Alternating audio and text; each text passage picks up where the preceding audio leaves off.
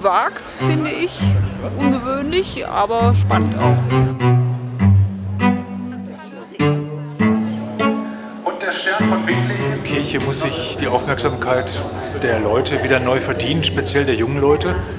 Wenn es Leute gibt, die sagen, ähm, ich war ewig nicht in der Kirche und äh, ich, ich, staune darüber, was so eine Kirche sein kann und äh, ich staune über die Kraft, die so eine Kirche und speziell so ein Kölner Dom hochzieht und einfach sagt, das hatte ich so nicht auf dem Radar, das ist wieder neu so bei mir auf dem, auf dem Fokus, dann ist das sehr viel und für uns alles ein großes Lob.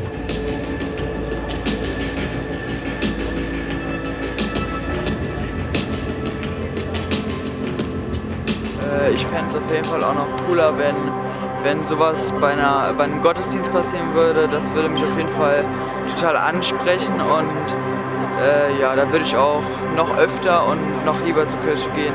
Meiner Meinung nach ist es halt, ich glaube, normal besser. Also ich gehe oft in die Kirche.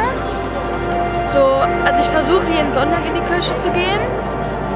Und ich mag es auch, weil ich finde, dass Gott mir, wenn ich dahin gehe, Kraft gibt. Und das ist halt was Neues und ich glaube für einige Jugendliche halt schön, es anzusehen.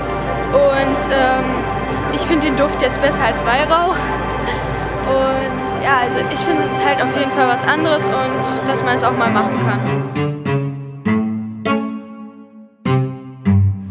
Ist, glaube ich, dazu angetan, äh, auch etwas innerlich äh, freizusetzen und jungen Menschen zu helfen, auch ein Stück zu sich selbst zu finden, zur Ruhe zu kommen. Und ich würde mir schon erhoffen, dass dort, wo einer zu sich selbst kommt, auch die Möglichkeit gegeben ist, äh, einen Weg zu Gott zu finden, also aus der Stille heraus.